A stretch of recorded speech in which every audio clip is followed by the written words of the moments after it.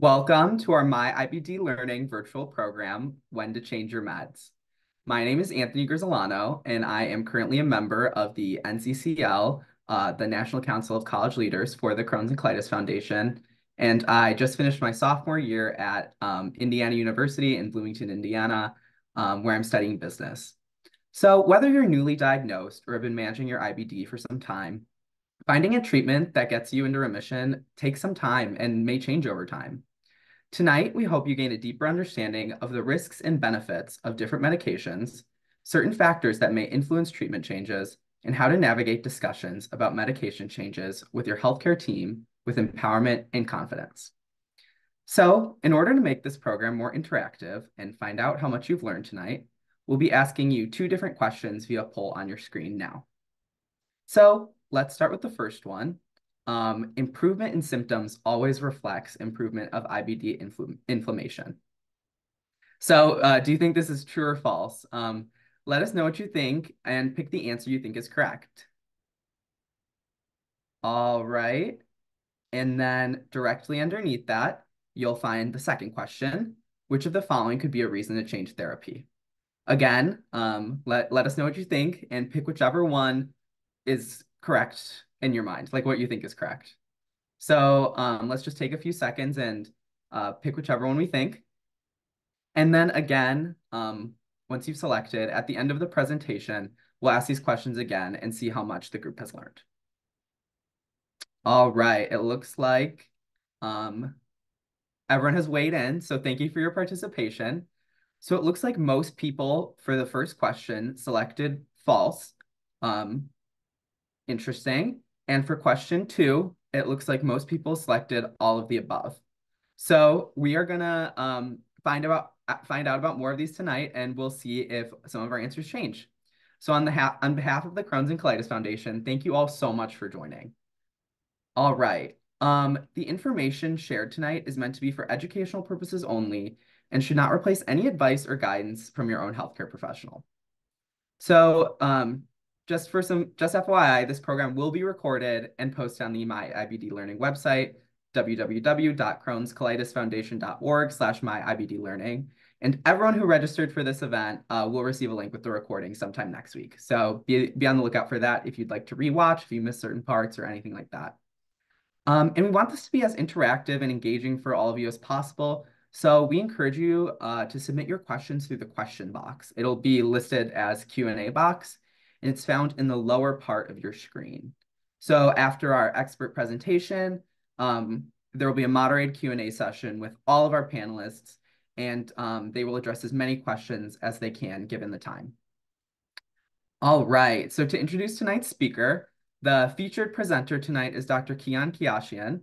Uh, he has been at Stanford Medicine, Stanford School of Medicine since 2017 and is currently the clinical director of the Inflammatory Bowel Disease Program.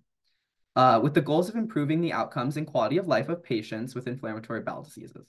He has collaborated with IBD pediatric gastroenterology at Stanford to optimize the care of the adolescent patient population that is transitioning care to an adult provider. In addition, his research has focused on older adults with inflammatory bowel disease with an emphasis on epidemiology, early diagnosis, and, and appropriate treatment.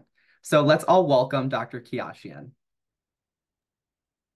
We understand the importance of your questions as well, and we want to ensure that we answer as many throughout the night as possible. So tonight, we have the honor of having Dr. Hillary Michael monitoring the Q&A box.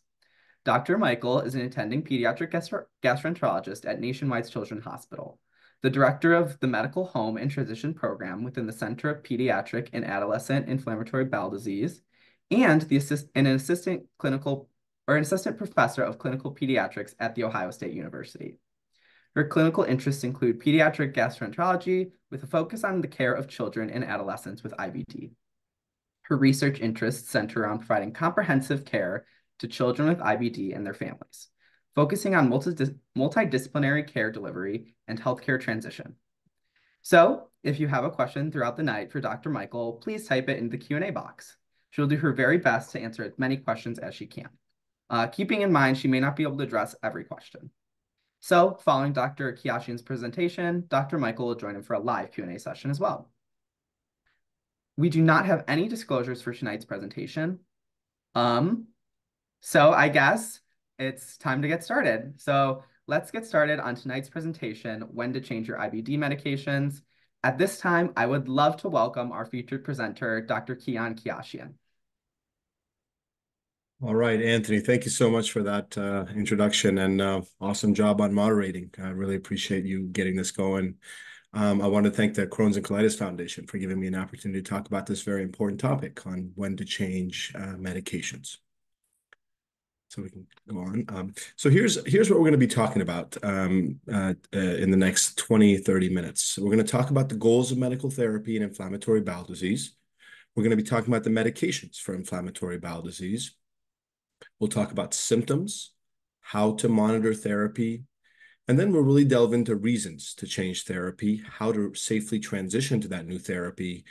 And then we'll finish off with some resources looking at shared decision making with your provider um, and additional resources with the Crohn's and Colitis Foundation. Okay. So, you know, as is the case when, when um, any patient sits down with a provider, it's important to understand the goals of medical therapy. So first and foremost, the goals are to improve symptoms. Terms like remission are applied. So clinical remission means that the patient is asymptomatic and doing well. But additional goals include improving quality of life, normalizing biomarkers, the C-reactive protein, the stool calprotectin, and then healing the bowel wall and the lining. So those are kind of the big global, probably stepped goals of medical therapy, initially symptoms, then biomarkers, then the bowel wall and the lining. But in addition, goals include reducing the risk of missed school days or work days, reducing emergency department visits and hospitalizations, reducing repeated course of steroids like prednisone, um, reducing the risk of surgery, and yes, even by healing, reducing the risk of colon dysplasia and colon cancer, which is a low risk. So in the next couple of slides, we're going to delve into medications that we use in inflammatory bowel disease. On this slide, we're going to go over some of the medications um, that are um, available for ulcerative colitis. And on the next, we'll talk about Crohn's disease. Um, it can get easy to get lost in the number of medications that are here. And I really encourage you to uh, use the link that's on this uh, slide to learn more about these therapies. And certainly discuss them with providers uh, to really get delve into the details of safety, effectiveness, and how to best monitor. So the therapies in ulcerative colitis include um, mesalamines and sulfasalazine. These are used in patients with what we call mild to moderate colitis. And then there are therapies that help induce remission, bring about remission, medications like prednisone and budesonide, which are short-term options, with the intention of having something else take over for, for long-term remission. There are oral medications, azathioprine and 6-mercaptopurine, which also uh, reduce inflammation and ulcerative colitis. And then we get into the biologic molecules. And there's, for ulcerative colitis, there are three classes of biologic molecules. There are the anti-TNF molecules, which block a molecule called tumor necrosis factor, which is increased in ulcerative colitis. There are anti-integrin molecules that prevent the movement of white blood cells to the GI tract. And then there are interleukin blockers, anti-IL-12-23 and IL-23 molecules that further reduce inflammation and ulcerative colitis. And I've listed here the, th the three anti-TNF molecules, infliximab, adalimumab, and golimumab, the anti-integrin molecules, vedolizumab, and then ustekinumab and mirikizumab that are FDA approved for ulcerative colitis round out the other biologic therapies. And then we have the small, the two classes of small molecules that are FDA approved. There are the JAK inhibitors, which include tofacitinib and upadacitinib. And then there are the S1P modulators, ozanimod and etrasimod. So these round out, uh, round out the uh, list of medications that are currently FDA approved for ulcerative colitis it's a snapshot, right? So one can imagine that if you talk about this same presentation in five years, you are going to have multiple other agents. And you can see that a number of agents are moving towards approval in ulcerative colitis and in Crohn's disease. But this is the current state of FDA-approved therapies for ulcerative colitis. For Crohn's disease, you'll see some of the similar medications. So there are the corticosteroids like prednisone and budesonide. And again, remember the goal here is to induce, to get patients into remission, and then have another agent take over uh, in maintenance. These are not meant to be long-term therapies. You see azathioprine and Circ6 appearing. The pills also appear as therapies for Crohn's disease. There's another medication that can be given either orally as or as an injection called methotrexate, which works very similarly uh, to azathioprine and mercaptopurine. And then we get into the biologic therapies, and you'll see it's the same three classes that were approved for ulcerative colitis. So the anti-TNFs, the anti-integrins, and then the anti-IL-12-23s and IL-23 molecules. Some subtle differences here. You'll see certolizumab is a TNF molecule that's FDA approved as opposed to golimumab. Natalizumab is an older anti-integrin that is also used, although less frequently in Crohn's disease. And then risankizumab is an IL-23 blocker, that is available in Crohn's, uh, contrasted with mirikizumab. And then more recently, the FDA has approved small molecules for Crohn's disease. So this is where that, that familiar agent, upadacitinib, from the previous slide shows up here. Again, just like I mentioned for ulcerative colitis, number of new agents are moving towards approval for Crohn's disease. And so this list will look different annually, uh, but this is the current medications that are FDA approved for uh, Crohn's disease. I want to take a minute here because it was one of the questions, and it's an important one, um, to talk about symptoms in inflammatory bowel disease. So in patients with ulcerative colitis, improvement and worsening of symptoms typically does reflect improvement and worsening of inflammation. And this is especially true for patients with stool frequency and bleeding, patients who are having blood per rectum. So that means that if a patient had significant inflammation and the number of bowel movements reduces and the rectal bleeding reduces, in ulcerative colitis, you can feel pretty reassured that they're probably also healing the lining of the GI tract. Now, that's not always true. Patients with ulcerative colitis, for example, 20, 30% of them may also have um, irritability in the GI tract, something similar to a condition you've probably heard of called IBS, irritable bowel syndrome, which can cause symptoms similar to ulcerative colitis. But I do think that in my mind, I do think of improvement in symptoms in ulcerative colitis as generally meaning that things are healing. This is different from Crohn's disease. There is less of this correlation in Crohn's disease. So patients may have no symptoms in Crohn's disease, but may have significant inflammation. That's especially true if they have small bowel Crohn's disease located in the ileum or the other areas of the small intestine. On the other hand, patients may also have significant symptoms, but have no significant inflammation. So for example, they may have lactose intolerance or irritable IBD, that irritable component that I mentioned. So I think it's important to understand that while the goal of therapy in ulcerative colitis and Crohn's disease is to improve symptoms, this is why we go down the additional steps of looking at biomarkers, looking at healing, because symptoms may not always reflect what's going on at the level of the lining. And one other thing I would say here is what that means is if, for example, there are symptoms, but there's no inflammation, it doesn't mean that there aren't other options to treat those symptoms. It just means that changing your therapy may not be the best approach to get those symptoms to improve.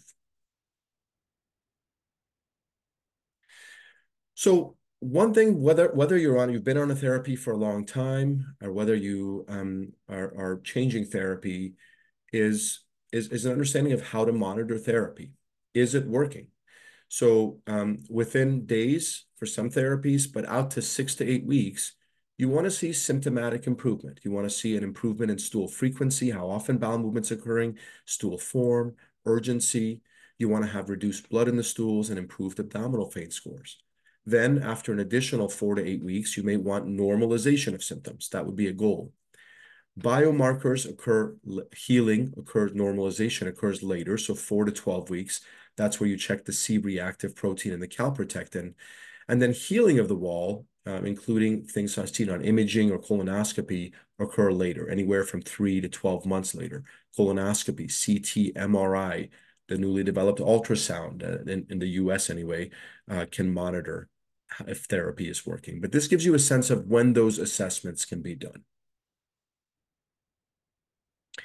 The other thing to monitor other than is it effective is, is it safe? So it's important to review with your provider interactions with other medications and alcohol, for example. So methotrexate, for example, is a medication that can interact with alcohol. So it's important to be aware of these things. Monitoring of safety can also include lab changes, including blood counts, kidney function, liver enzymes. For some of the medications, cholesterol levels, which can be increased with them. Infection risk is an important topic that needs to be monitored. Tuberculosis, hepatitis B testing, shingles, and making sure of appropriate vaccinations for flu, for pneumonia, and for other um, uh, uh, disease, uh, infectious diseases are, are uh, appropriately administered. Cancer risk needs to be monitored, so skin cancer with some of the therapies, pap smears with medications like azathioprine and 6-mercaptopurine, lymph node, liver, spleen exams to look for things like lymphoma, which are extremely rare, fortunately. And then other risks as far as how to monitor safety include bone density studies, particularly in patients that have been on corticosteroids like prednisone for a long time, and then blood clots. Uh, those are other things that it's important to maintain a good communication with your provider with any new symptoms that might then need to be explored.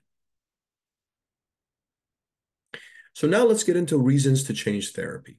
Um, and here there's, there's a good number of them. So um, one would be continued inflammation. So, so, we talked about how symptoms can often be a marker of that, like in ulcerative colitis, but beyond that, right? So yes, there are symptoms and the C-reactive protein or the calprotectin is elevated, or a colonoscopy shows significant inflammation and an MRI shows inflammation. In that circumstance, it makes sense to either change therapy or optimize the current regimen to reduce inflammation.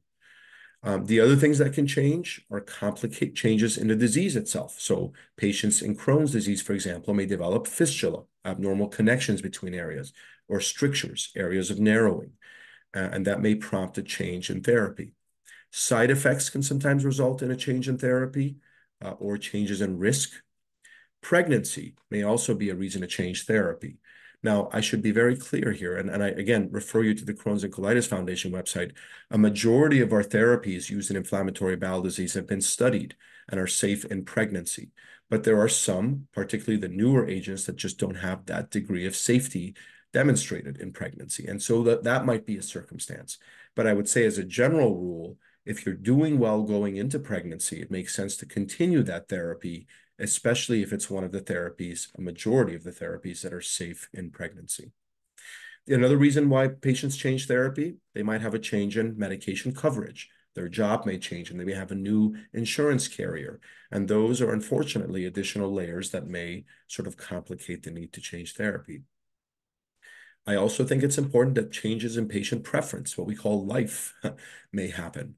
And so maybe a need to travel maybe preferring oral or self-injections over infusions, maybe experiences of family and friends, perhaps more online reading. And then the last reason to change therapy is with the availability of biosimilars, particularly for infliximab and adalimumab, one may consider a change based on the insurance. Um, so let's talk a little bit about that. So biosimilars are uh, biologic therapies that are complex proteins made in live cells just like uh, the three classes of biologic therapies that I mentioned earlier. They're almost identical, so they're near identical copies, but they're technically not generic exact copies. So these should not be thought of as generic because they, they're complex proteins that have to be made in live cells. That's not something that a chemist may make in the back of a pharmacy. They typically have the same active ingredient, the same mechanism of action, how it works, the same dosing, and honestly, the same safety and effectiveness. There is a, a process that the FDA uses for biosimilars to be reviewed and approved, and it's quite rigorous. And they do they have done multiple studies to show about switching therapy or multiple switches to demonstrate that the effectiveness and the safety is similar. And this is why, especially for those of you that have been on medicines like infliximab, you may already have explained, expressed, seen some changes in biosimilar uh, uh, uptake. The same is happening more recently with adalimumab, and you will see a number of those. Um, what I would, what I would uh, encourage patients to do when that change is requested is certainly discuss with your provider, but also discuss with your provider the cost to you, Um, and patient support from the company because those are important things that we we need preserved if you make a switch from the originator to the biosimilar. So there's another reason for us to potentially change therapy. So how do we transition to new therapy? Well, the important thing here is to have open communication with the GI team. Um, a lot of these therapies require pre-therapy labs, updates, and vaccination guided by either a pharmacy team or your primary GI team partnering with the primary care provider. Keeping an eye out for the approval note or letter is an important one. And I, I, um, I'm sorry to say that part of the burden here is on the patient, but we may not always be the first to hear. The patient might. And so keeping that open line of communication with the gastroenterology office, "Hey, the medication, I got a notice. It's approved. We're all set." I think that will really help close the loop and can uh, reduce delays in starting the therapy. The other piece of good news that we've learned is that oftentimes there's not a need for a prolonged holiday between different therapies, that an overlap between therapies is safe. It's been studied in case series. The only exception might be a few molecules like the JAK inhibitors and the anti-TNF molecules, but small studies even suggest that that likely is not an issue. So the good news is that there isn't this prolonged period where the patient has to remain off therapy before a new therapy could be started. And then, of course, after you change therapy, the the monitoring that I laid out in a few slides back still needs to happen. You should have a good understanding with your provider of how quickly can I expect my symptoms to get better, which symptoms are going to get better. So a symptom check-in is the first piece, and when will symptoms normalize? And remember, the next step is the biomarker evaluation, uh, delayed by anywhere from two to four to six weeks. And there you want the blood C-reactive protein, the stool calprotectin, uh, uh, and these could be helpful to suggest the next level of healing. And then ultimately, a colonoscopy for colonic disease or imaging like an MRI, a CT scan, or an ultrasound may confirm that the small intestine is also healing. So it's that same protocol, whether you're on therapy and you're being monitored or you have a change in therapy. Initially, make sure symptoms respond, especially in ulcerative colitis where there's that nicer uh, correlation between symptoms and inflammation, then biomarkers, and then uh, colonoscopy uh, and imaging would be the next steps. And you can imagine that I didn't mention it in the monitoring slide, but then based on the findings, in other words, if you go into symptomatic or clinical remission, biochemical or biomarker, biologic remission is the term used there, or endoscopic healing or endoscopic remission, and perhaps even an additional layer of healing the biopsies, then over the next year, two, three, you'll have periodic monitoring to confirm that you are still in remission. Part of that is symptoms. Part of it is periodic monitoring of the blood C-reactive protein or the stool calprotectin. Let's talk a little bit about delving into that shared decision-making. So this is really critical whenever you're making these medication changes. And um, and I think that um, shared decision-making basically means that the patient, the patient's caregiver, and the healthcare team work together to make decisions um, about changes in therapy, about continuing current therapy. And consistently, studies show that when there is this shared decision-making, there is an increase in confidence in the treatment from the patient's perspective, but also the provider feeling confident that it's working. There's increased satisfaction with the treatment in both the provider and the patient.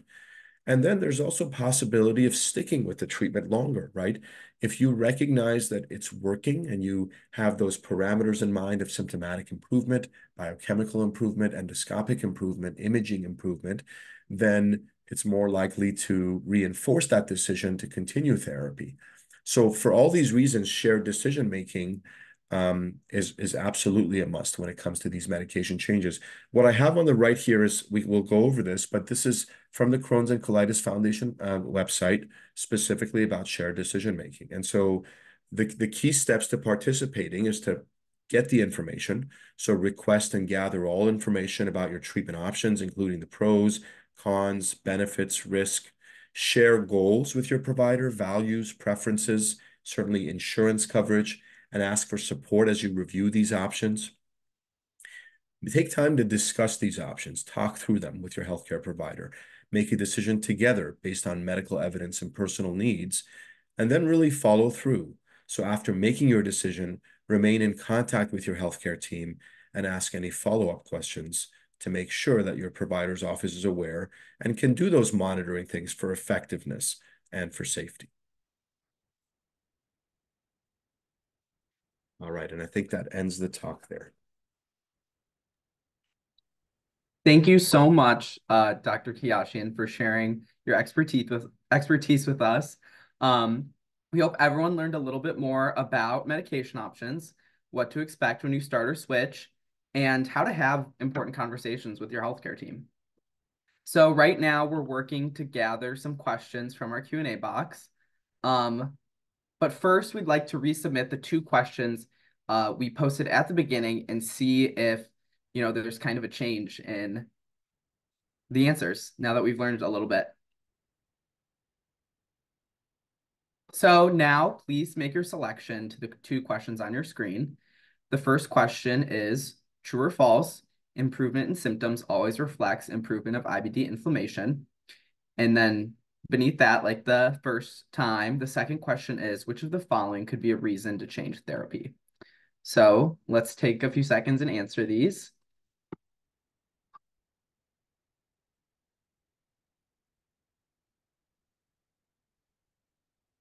Okay, awesome. Yeah. It looks like there was a definite um a, a shift in kind of how these results are um how we did versus the first and the second time. So the correct answer for the first question is false. Um, in some patients, especially those with Crohn's disease, um, they may experience actually little to no symptoms, but have significant inflammation still. Um, and for the second question, a vast majority uh, got this correct. The correct answer is all of the above. Um, there are several factors that can play the role or can play a role in you and your doctor's decision to change your therapy. Um, and I really appreciate you all taking the time to participate in these polls. Um, now we're going to take some direct questions from our audience. So I'd like to welcome Dr. Michael on camera, who has been answering questions for us throughout the chat so far. Um, and let's now direct a few of the audience questions to our expert presenters. Um, if you have a question for Dr. Keyashian or Dr. Michael or both, um, please type it in the Q&A box, which can be found at the lower part of your screen. All right. So our first question is, um, what are some of your thoughts? Um, this is for uh, both. Um, what are your thoughts on combination therapy? Would you ever consider using a med class that initially failed response, but then failed if in combination? And how do you get insurance to cover this off-label practice? So let's start with Dr. Michael. Excellent. Sorry, I'm I'm trying to respond to text questions too, so apologies for um, the delay there. Um, so in terms of consideration of combination therapy, um, I think, and actually Dr. Keyashian and I may have slightly different responses here since I'm a pediatric IBD doc and he is an adult one. So combination therapy, um, and usually we think of using a biologic medication plus an immunomodulator, so those are your methotrexate or your 6MP, can be really, really helpful for certain patients for multiple reasons. One is that in some patients, it can make the medication level in the body increase so that it can increase the level of the biologic medication in the bloodstream, which can help heal the bowel better.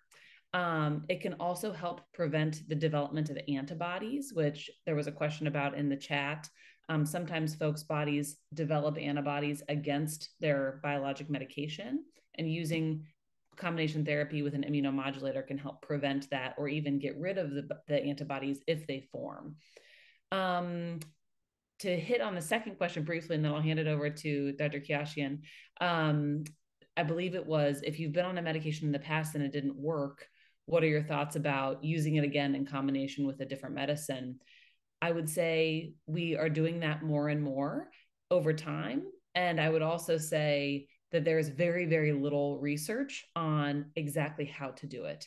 So I think if uh, it, it's something that we try, but in terms of exactly how we make those decisions, it gets back to that shared decision making that Dr. Keyashian mentioned, really weighing the benefits and the risks of different therapies and the combination of therapies to figure out what would be the best for an individual patient.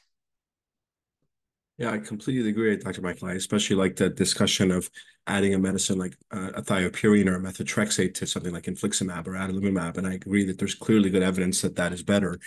I think um, an equally good question I think is sort of hinted at is is you know combination biologic therapies or biologic and a small molecule, and I think that as Dr. Michael nicely pointed out, um, you know, we're just more recently starting to get studies. A lot of these studies are based on us one center's experience or, you know, four or five centers' experiences. And so it's not like we have these robust, large, randomized controlled trials, with a few exceptions, by the way. So company, you know, uh, I think our, our industry partners are recognizing that these combination approaches are going to be necessary. And so you'll find a number of combination kind of trials and a lot of the design of the current clinical trials that do allow you to combine therapies.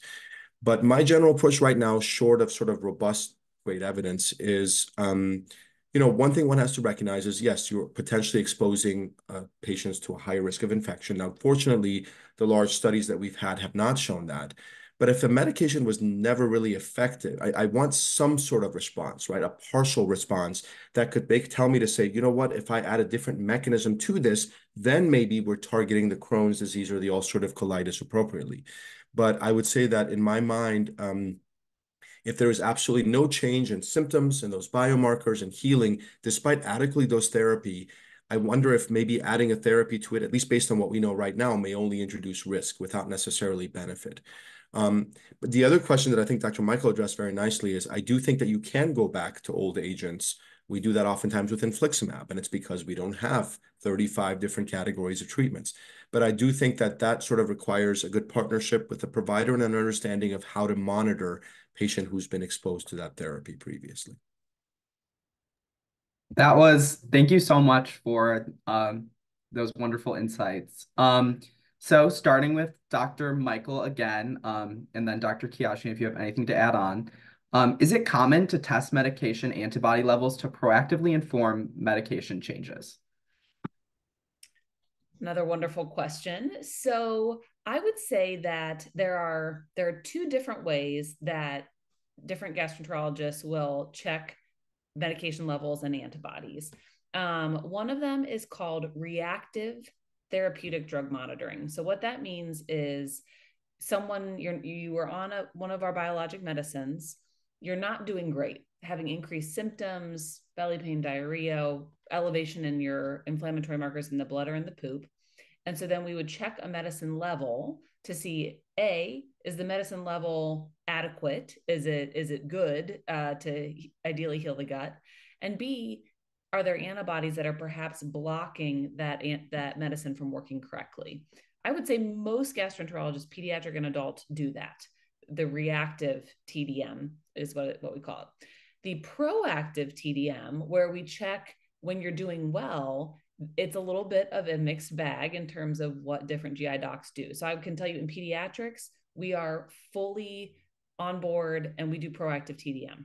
Um, uh, again, checking medicine levels and antibody levels. And the thought is that even if someone's feeling good, if their medication level is dropped or they've developed antibodies, if we check when they're well, we may be able to optimize their medicine, give more medicine, give it closer together, or add an immunomodulator to get the medicine level back up in their body and make sure that that medicine remains a good one for them. Um, it also helps us figure out if someone's having lots of symptoms or they're having inflammation on their scopes, perhaps. It helps us figure out if the drug level is good, but they still have inflammation, it might be time to move on to something new. If the drug level is not so hot and they have inflammation, we can increase that drug level and see if we can help heal them up again. So that those would be my thoughts. Dr. Keyashian, do you have anything to add? Yeah, Dr. Michael, that's perfect. That's exactly what I was thinking. I think that um, I mean we have to recognize that we we lump all the therapies together as biologics, but there's different risk of antibody development with a lot of these therapies. And so I think that's where you see the variability that Dr. Michael's talking about, because some of these therapies consistently show that there's just not a lot of high antibody development. And so in those, I think you'll find providers are less sort of getting on board with proactive monitoring. I think the reactive, I agree, almost everyone sort of gets behind.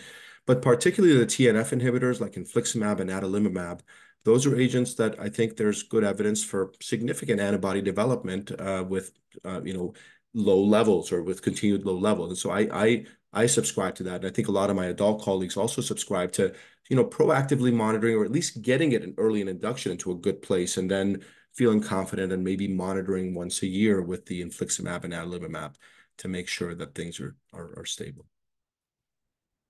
Awesome. Thank you both so much for your insights on that question as well. Um, for our next question, Dr. Keyashian, how do you approach transitioning from dual therapy to monotherapy? Um, and then afterwards, Dr. Michael, um, are there any differences in this approach for pediatric patients? That's great. We have a very savvy audience here. This is using terminology like dual therapy and monotherapy. I like it a lot. Um, So this is this is a great question. Um, I think what we've been focusing on is changing therapy, but but an entirely developing area of research is de-escalation of therapy, right? Of you know, a patient is doing well. How can we get them on the lowest dose that's still effective, but reduces risk of side effects and and gets them well? And so I think to me, Uh, the current body of of literature suggests that stopping um, a biologic therapy, particularly infliximab or adalimumab or any of these agents, there is probably a significant risk of a flare within six months out to three to four years, maybe something on the order of 50%. I should say that means 50% will not. But I think that in my mind, um, we don't have those great predictors yet. So it's a little bit of a gamble stopping therapy altogether and remaining off therapy. Um, but I do think that for select patients that are on combination therapy with something like azathioprine 6-MP and infliximab or azathioprine 6-MP and adalimumab, um, and they've done well, so you do all those layers that we talked about of monitoring. Their symptoms are better. Their biomarkers have essentially normalized. Their colonoscopy and maybe even imaging for Crohn's disease has normalized. And you do maybe take this additional step where you look at the level of the drug. You look at the level of the infliximab or the adalimumab, and you find that it's a good therapeutic level. For those patients, especially if they've been on a combination for anywhere from six to 12 months, maybe longer, um, I feel comfortable um, taking the methotrexate or the azathioprine and 6-MP off. The key is to do that and not just say, "See you in five years," right? The key is to do that, monitor, you know, maybe a couple of months out, get a calprotectin. Um, again, relook at those levels because sometimes, as Dr. Michael pointed out, those levels can be augmented by the azathioprine or the 6-MP. Um, and so you want to make sure that the level now hasn't dropped to a subtherapeutic level if you need to adjust the dose. Um, but I think it makes sense that eh, think of it as changing therapy. If you de-escalate therapy, you want to plug back into that monitoring algorithm. How are symptoms? How are biomarkers? How does imaging and colonoscopy look? And I think it's it's very appropriate for a number of these therapies. I'm hoping we get more information because I know I notice a lot of the questions here are, "Can we stop therapy? Can we?" And I think i those are great questions for Dr. Michael and me too. And unfortunately, right now, we don't have predictors of who those people will be. But I'm optimistic and and excited about where the research is going in the next five years, 10 years to be able to get into some of that. I agree completely, Dr. Keyashian. The only tweak I would say, or, or maybe kind of addition I would add as a as a pediatric GI person is that because we're taking care of kids and teenagers that have decades of life ahead of them, we uh, are, I think, are extra, extra careful about de-escalation. So it might be a different conversation if somebody is 90 years old and they say, "Hey, doc, can I cut my methotrexate?" You know, and and you might, "I'm doing well." And and I mean, maybe they have another 20 years, but who knows? Um, but if I'm taking care of a 14-year-old who has such a long life ahead of them with that intestine that we want to keep healthy, um, I would just be a little bit more hesitant to de-escalate if someone is doing great um, out of concern that by de-escalating or going from, again, the combo medicines to one, that they might have a flare-up and agree completely. Very close monitoring with any therapy change is key, both clinical symptoms, symptoms in the office, growth and development in our kids and teenagers, blood markers, poop markers, repeat scopes. Awesome. Um, Dr. Keyashian, do certain biologics take longer to start to work for patients? Um, And then, Dr. Michael, if you have anything to add. Yeah, it's a great question. Yeah, they are. So the guide, by the way, the the monitoring that I I mentioned to you is part of an initiative through the International Organization of IBD called the STRIDE Initiative. um, a reiteration of that. And basically, um, it sort of first of all says that we should be doing this tiered approach: symptoms first, biomarkers next, uh, endoscopy, colonoscopy, imaging, ultrasound, eventually. But I think there is some evidence to suggest that there are some differences in how quickly treatments onset um, and um, and uh, you know get to their full level. So that's why I give you those ranges when I talk about when to monitor those specific parameters because a, a classic example is um, that we tend to think of some JAK inhibitors as relatively quick acting in ulcerative colitis, whereas a medication like vedolizumab might be slower acting. It'll get there, but it um, you know it, it might just be delayed. And so that's why I think sort of a cookie cutter approach of everyone needs a CRP at two weeks and a colonoscopy at six months. I mean, I think that that really is sort of the art of this, of sort of looking at what agent are you on, working with your provider and figuring out when to time those specific assessments. Um, but I do think that you'll find that there's quite a bit of variability in onset and offset when you stop therapy of how long it takes to get out of the system. Nothing more to add. Agreed completely. awesome. Um, so the next question is, will I be at risk of developing an antibody against a biologic drug if I switch to its biosimilar? An excellent Sorry. Question. And this is to uh, Dr. Michael and also Dr. Keyashian, if you have anything to add. Great question. So biosimilars, as Dr. Keyashian had mentioned, we think of them as essentially the body sees them as the same medication as the originator, originator medicine. So they work in the same way on the same receptors and the same parts of the immune system. They're even monitored in the same way. So when we order a medication level, um, at least in, in my computer system, it might be the same for Dr. Keyashian. I type in infliximab level, even if that patient is on a infliximab biosimilar. And so, because of that, because the body sees the medication in the same way, there should not be any increased risk of developing antibodies on a biosimilar than there is on the originator, originator medicine. Now, can you develop antibodies to a biosimilar? Absolutely. Um, but the and what we were seeing this more in research as well that the risk of development of antibodies should not be increased just from switching if you keep the medicine dose the same and the infusion interval the same. I completely agree with Dr. Michael. Perfect. Awesome. Um, is there ever a place of, or, or sorry, is there ever a place for tapering off of a biologic if someone has been symptom free and reached histologic remission for several years? And also, um, with this, please, if you could explain what histologic remission is for those in the audience who might not know. Um, thank you, Dr. Keyashian. Okay, sure. Um, so yeah, so remember we talked about the different layers of what we use as our endpoints of to tell us that a treatment is successful, right? We talked about symptoms, biomarkers, and I'm sorry, I know I'm starting to sound like a repeat, but again, I want patients to sort of get this in their mind that this is sort of what goes on in my mind when I'm thinking. Well, histologic healing. So I take biopsies during a colonoscopy of the colon or the small intestine, and I find no evidence of active inflammation that really is probably the holy grail goal to aim for. I think as we get more therapies, I think we will probably start thinking about that. And a lot of our current clinical trials are including a combination of not just my appearance on the colonoscopy, endoscopic healing, but also histologic healing.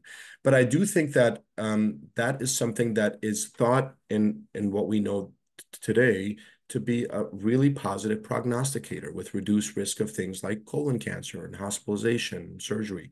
So I think what the what the savvy uh, question asker is saying is that you know this is sort of a another level of a positive prognosis, right? And so yes, I would much rather have a discussion about reducing or changing therapy with someone that's in that state as opposed to someone with you know continued elevation in C-reactive protein and inflammation in the colon. But I do think that um, the question of who to safely do that in is still an important question. Um, and I think that you'll find that even in those perfect ideal situations, stopping therapy, reducing therapy could result in a flare of symptoms. And I think that sort of the additional piece to keep in mind is that some of these biologics, especially as we've been talking about antibodies, with a long holiday from these biologics, there is a higher risk of developing antibodies. Now, if you stop it electively, that's not a major risk, but it's, it's something to consider. In other words, we may not be able to come back to it But I think right now, the guidance is de-escalation from dual therapy to monotherapy is reasonable, but stopping or reducing is probably not something that that has a lot of evidence that can guide me and my and my uh, patient in, in our shared decision making. So, uh, Dr. Michael, I'm interested in your thoughts on that. Exactly the same. We're um, exactly the same. I and one theme, as I'm seeing many of the wonderful questions in the chat too, which maybe this will help answer as well. Folks will ask, you know, how do you, how do we balance the risks and the benefits? Um, and one thing I think that's really important is that it's so individualized. So for for one patient, the benefits of de-escalating from two medicines to one, um, or going from one medicine to no medicines, uh, the risk of that may be very very high. You know, maybe they were very sick when they were first diagnosed, which means that it might be harder to get them under control in the long term. Maybe they've already had been on many many medicines and if they we stop a medicine and they lose risk or they have a flare of disease again we won't be able to help heal them because we don't have that big of a toolkit anymore. Um, on the other hand maybe someone had very mild disease. They were taking i don't know maybe a mesalamine an oral medication for 10 years. Actually i saw a patient like this today in, in the office he shared with me today that he felt great and he had been he had not been taking his medicine for the past year. And i said okay well let's get your blood work get your stool calprotectin. And if those things are normal and you're feeling good and you had mild disease i'm okay monitoring you off medicine but i definitely want to see you in clinic get the blood and the stool markers and if those start increasing get another scope and talk about restarting therapy. So it, it was super super individualized. And you might have the same patient or two different patients with similar scenarios and you make different decisions with them based on their preferences and and what's important to them. That i think was a great uh a really great piece of insight that i think addressed yeah a lot of the questions that people have been having. So thank you for that. Um dr Keyashian can you comment on what we know so far about IBD medication effects as people age, um, specifically in like maybe elder patients or patients who are a bit older? That's a good question. Um, yeah, so um, so I do think that um, we have to recognize that um, just as we have an aging U.S. population, we also have an aging inflammatory bowel disease population, right? Up to something like 25% of the population will be uh, over age 60, 65 by uh, 2060. Um, and so maybe even sooner. Um, and so I think to me, um, there's been there's a lot of recent um, interest and excitement in looking at this population as patients are getting older, you know, diagnosed with IBD in their 20s and 30s and now in their 50s and 60s. Um, and um, I think that some of the things that hopefully are starting to change is that, for example, a lot of our clinical trials thus far have had sort of an upper limit on enrollment, you know, age 75, age 70, whatever the case might be. And so we don't have sort of that that nice, robust data to say which medication may be more effective, maybe less effective. The other thing, if you look at surveys of patient of providers of of um, how do they feel? Do they feel comfortable prescribing medications to older adults? You'll generally find that um, some of the therapies that have proven benefit in younger patients are often shied away from in older adults because of risk of, you know, maybe lack of data or worry about risk and benefit. And studies consistently show that if you undertreat uh, patients just because of something like age, um, you can result in worse outcomes. So still picking the agent that's probably most likely to be effective in the management of these patients is important regardless of what age um, and what stage of life they're in. And so I think to me, um, there is um, there are what's helping us sort of bridge, uh, you know, bridge that gap uh, in terms of the clinical trials are center experiences and national population studies where we're actually seeing, you know, older patients are being studied on specific therapies. How effective are they? How safe are they? And I think what we're generally finding is that the management can be quite similar. Um, and uh, and I think to me the same approaches in terms of picking an agent, in terms of um, you know moving forward with monitoring are just as relevant in those over age 60 or 65 as those in their 30s. There are some nuances, you know, keeping in mind there are other medical conditions, insurance coverage, and some Medicare, um, you know, differences in coverage and and and, and things like that. But I do think the approach should still be sort of the same, uh, you know, in my mind moving forward. I hope that addressed the question. Yeah, I I totally think so. Um, I, I mean, I'm not the person who asked the question, but um, so this is actually a really interesting question. Um, kind of more about research. I saw this myself. There was an article recently released in Nature journal about a gene showing potential in IBD therapy. Um, can you comment maybe on what we should be taking away from that article or um, maybe your insights on that article? Um, and this is to both doctors if uh, either of you wants to start. I have not read that article, so I cannot comment directly on it, but clearly I need to read that article. Um, but what I will say just about genetics and IBD uh, at a high level is that one of the biggest challenges with genes and IBD um, and using genes to treat IBD or modifying genes to treat IBD is that there's not just one gene that causes IBD.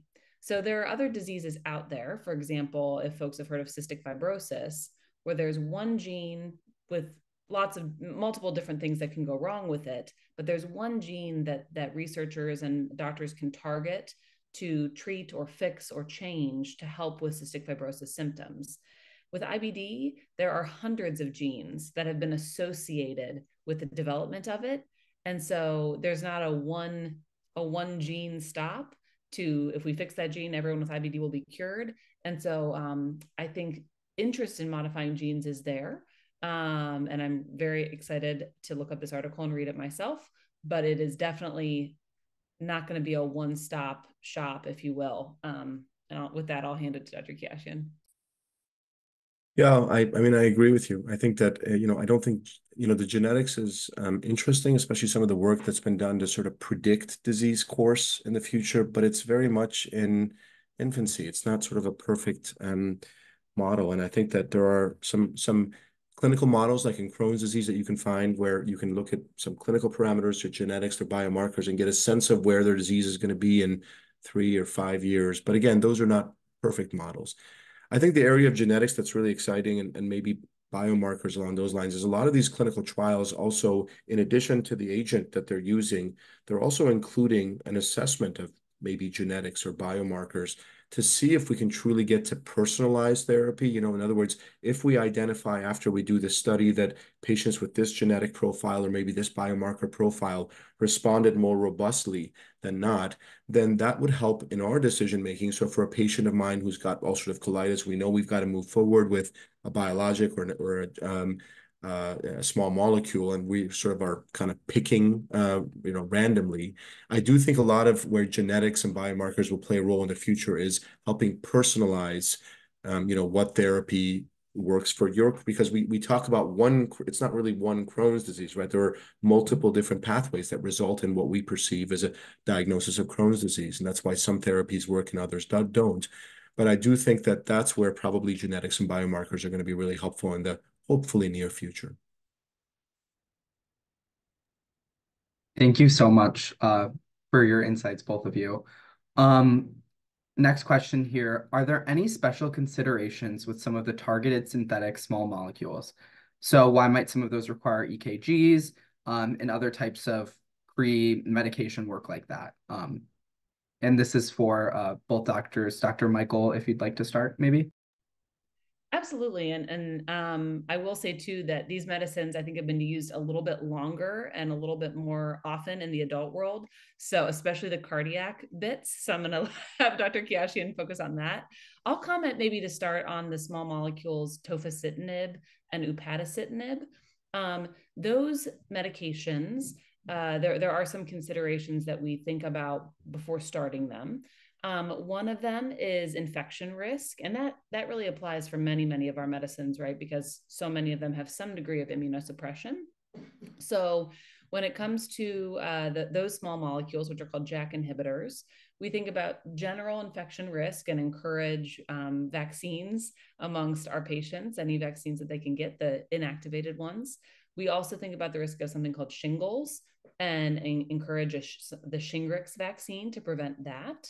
Um, we do a baseline lipid panel screening. So we get folks cholesterol and triglyceride levels, and then we monitor those after we start the medicine um, because some patients have increased levels of their lipids on the JAK inhibitors. And most of the time, you don't have to do anything about it. You know, we encourage healthy, healthy diet and exercise. Um, very rarely, people might need medicine to treat the lipids. But that said, if they need the medicine for their IBD and it's working, the risk balance may be worth it. Um, let's see here. And then the other things are, are similar to what we would do for monitoring in all patients with IBD that Dr. Keyashian mentioned cancer screenings, skin cancer, and so on. Um, so that's just an example of maybe the small molecules. And then I'll, I'll hand it over to Dr. Keyashian for other thoughts and specifically considerations with, with the cardiac effects of some of the new drugs. Sure. Yeah, Dr. Michael, a lot of the, as you know, a lot of the clinical trials, um, you know, might look at the mechanism of, oh, this must, because we know it can be present in cardiac tissue or it can have an impact in cardiac tissue, we have to monitor things like blood pressure and the pulse and an EKG to look at specific patterns on the EKG, right? But we also realize, so that's part of the clinical trial. They they report that out. They tell you what um, things they found, like maybe we found a little bit of a change in the pulse, a little bit of the blood pressure. But then we really also look at that post-marketing time of safety monitoring after the drug has been out um, and what exactly happens. And so that's why you see a lot of the monitoring that occurs early on for a medication may be different three to five years later as we sort of get more data and realize that perhaps there's less of a concern. So one such area is, you know, um, EKG changes um, for specific small molecules. And I think that in the post-marketing, and we, we've been to national conferences, Dr. Michael and I, and I think you sort of see these large cohorts of patients that they've monitored where concerns for um, you know, those things are really not major concerns in terms of risk. I think Dr. Michael laid out very nicely the risks of things like JAK inhibitors. And so I think to me, um, I think it's important to sort of speak with your provider about, you know, what is the purpose of this test? Why do they do it? And they can delve into some of those nuances with you, but realize that some of that may just be the way it was marketed and done in the clinical trials. And we may move away from that as we find that really it's not relevant five years later. Thank you. Um, and for our final question of the night, um, is it safe to combine this combine steroid medications with biologic medications. Um, Dr. Keyashian, if you'd like to start, um, and then Dr. Michael, if you'd like to add anything. It's it's a good question. Um, so so here's what I would say. I would say that remember that in my slides when we talked about the role of corticosteroids in inflammatory bowel disease, these are medications that are meant to induce remission, induce response, right? They're so they're going to help you when a patient needs to get better sooner but remember, the key is to have in mind what's going to take over that healing, right? That's the important piece. And so I think to me, oftentimes steroids serve as what we call a bridge. They basically, you know, you know you're going to start a new therapy, whatever you end up picking, and you need your patient is quite active in terms of symptoms, and you want to get them some improvement in quality of life. Um, and so oftentimes steroids are used and can be overlapped with biologics. But the key is to have that idea of how do I optimize this biologic? My goal is to come off steroids um, and then move forward with just that agent while I'm using this bridge here to make the patient feel better until that works. One other consideration to add um, is when patients are on, because some, sometimes you do need that combination. Um, one or two, sometimes even three immunosuppressive medicines at once. And so when and just for the limited amount of time, like Dr. Keyashian said, until you can ideally peel things away um, to the to the least risky combination that gets the job done, right? I, I've talked to my patients a lot and I said the best medicine is kind of the lowest effective dose that keeps your gut healed because then you're decreasing the risk of side effects. One thing to think about when you're on multiple immunosuppressive medicines is at times you have to take you have to be aware of other infections that you may be at higher risk for. And so, for example, um, if someone is on three immunosuppressive medicines at once, usually we start a preventative antibiotic um, called Bactrim three times a week to help prevent a particular infection that patients are at increased risk for. So that would be one other thing to think about is at some at some point we got to throw the kitchen sink at patients because it's it's really important to help heal their gut. Um, but being aware of infection risk and and doing everything we can to prevent infection in those scenarios is super important. Thank you both so much for answering all of these um, honestly wonderful questions that we've uh, received throughout the night. Um, so as our program comes to an end, on behalf of the Crohn's and Colitis Foundation, we encourage you to keep learning about IBD and visit our helpful education resources. Um, for more information on medications, check out the IBD Medication Guide. The IBD Medication Guide allows you to filter and sort medications um, based on certain options such as disease, drug class, and preferred way to take medication. Um, additionally, there's the IBD Help Center. The IBD Help Center provides information and resources to patients, caregivers, and healthcare providers about inflammatory bowel disease. They're available by phone or email, as well as live chat, currently available Monday, Tuesday, and Thursday. Um, and there's a QR code there for that. Um, and additionally, there are so many support resources and support groups. Um, if you're looking to connect with other patients and caregivers, the foundation offers both virtual and in-person support groups. Um, the, the QR code on the bottom right of your screen will help you locate a support group near you. Um, finally, to watch previous webinars and expert conversations, please visit Crohn's Colitis Foundation.org slash my IBD learning. Um, just a quick reminder, um, we'd love if you'd fill out the evaluation survey that will be sent to you after tonight's program. Um, we really appreciate the feedback and it'll help us plan future programs. Uh, thank you again to both Dr. Michael and Dr. Keyashian. Um, it has just been a wonderful evening. And thank you also to everyone in the IBD community who has joined tonight. Um, and have a wonderful rest of your evening. Thank you so much.